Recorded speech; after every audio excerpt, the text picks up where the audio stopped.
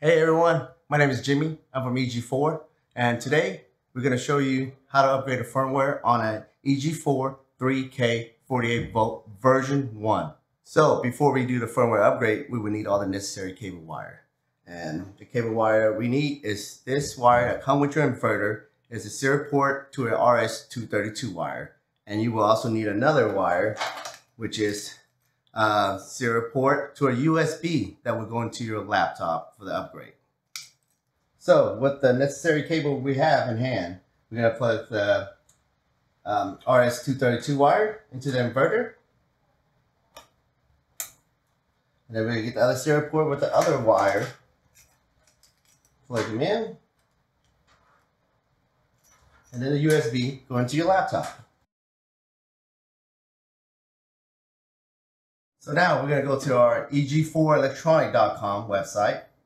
And I had it open already. And you're going to scroll down to the download. Stay up to date download right here. You can click here or you can click down here. Either one. And it's going to take you to the download. And then we're going to go look for our EG4 3K version 1 inverter right here. Download the firmware.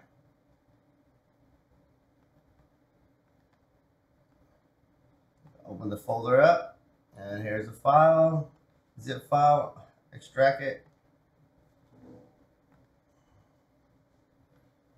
And here you go, open it up.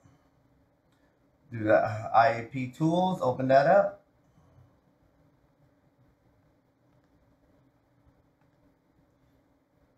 All right, over here, make sure you select your correct port. Mine's on 5 port and then go browse, browse the file, which is right here, is in the folder. You guys see the folder? That's the one we're at. So click on the firmware and then click open.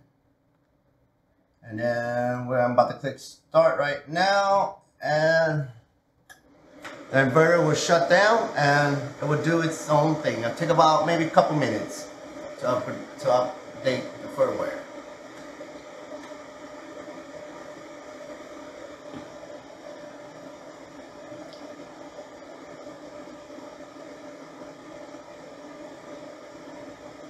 All right, the firmware is done. It's restarting the inverter. And now we're gonna go scroll down, check the version on it.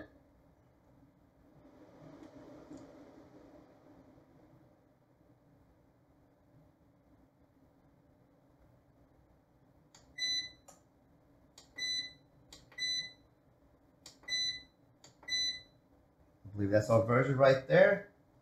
21014B1. So it's correct. So that's how you upgrade a firmware for EG4 3K 48 volt version 1. I'm Jimmy with EG4. Thank you for watching.